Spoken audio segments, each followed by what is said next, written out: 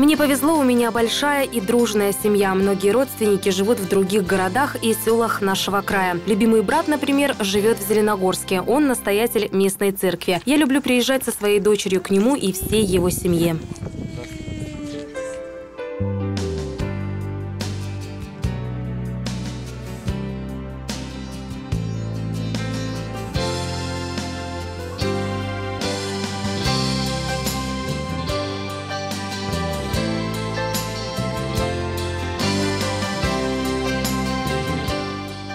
Мы всегда смотрим на нашу Наташу на телеканале Енисей, особенно детки.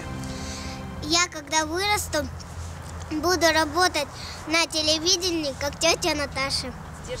Я просто обожаю своих племянников, знаю, что они всегда ждут моих эфиров. Ножку. Работать на нашем телеканале очень интересно. Всегда чувствуешь связь со зрителем. Знаешь, что где-то на тебя обязательно смотрят любимые люди.